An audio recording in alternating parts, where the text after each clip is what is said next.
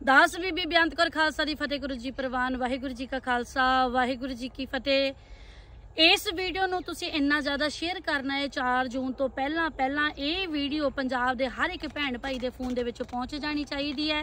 ਕਿਉਂ? ਕਿਉਂਕਿ ਸਰਕਾਰਾਂ ਨੇ ਬਹੁਤ ਵੱਡੀ ਸਾਜ਼ਿਸ਼ ਦੇ ਤਹਿਤ ਇਹ ਜਿਹੜਾ ਵੋਟਾਂ ਦਾ ਦਿਨ ਰੱਖਿਆ, ਉਹ 1 ਜੂਨ ਰੱਖਿਆ ਹੈ।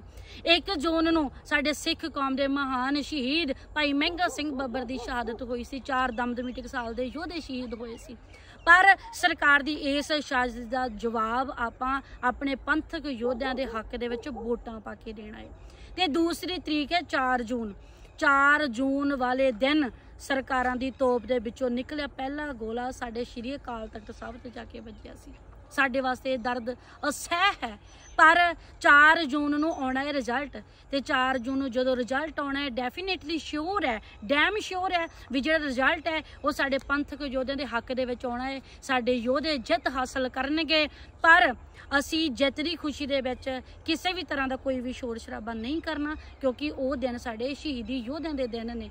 ਅਸੀਂ ਉਹਨਾਂ ਦਾ ਵੀ ਖਿਆਲ ਰੱਖਣਾ ਹੈ ਤੇ ਕਿਸੇ ਤਰ੍ਹਾਂ ਦੇ ਕੋਈ ਡੀਜੇ ਨਹੀਂ ਲਾਉਣੇ, ਕੋਈ ਆਪਾਂ ਕਿਸੇ ਵੀ ਤਰ੍ਹਾਂ ਦੀ ਖੁਸ਼ੀ ਨਹੀਂ ਮਨਾਉਣੀ ਤੇ ਆਪਾਂ ਗੁਰੂ ਸਾਹਿਬ ਜੀ ਦੇ ਚਰਨਾਂ ਦੇ ਵਿੱਚ ਕੜਾਹ ਪ੍ਰਸ਼ਾਦੀ ਦੇਗ ਬਣਾ ਕੇ ਮਰਿਆਦਾ ਦੇ ਵਿੱਚ ਰਹਿ ਕੇ ਸ਼ੁਕਰਾਨੇ ਦੀ ਅਰਦਾਸ ਜ਼ਰੂਰ ਕਰਨੀ ਹੈ।